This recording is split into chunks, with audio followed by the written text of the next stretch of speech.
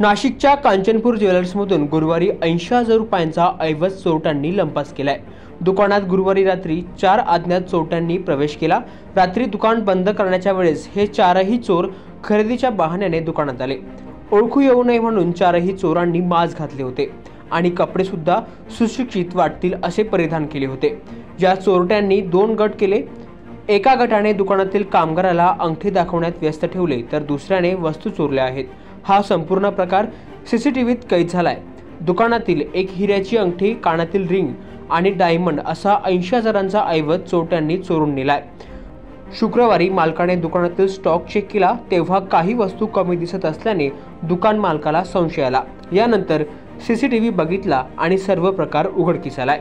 नंतर मुंबई नाका पोलीस ठाण्यात चार अज्ञात चोरट्यांच्या विरोधात गुन्हाही दाखल करण्यात आलाय. जागर जनस्थानसाठी भूषण जैन नाशिक.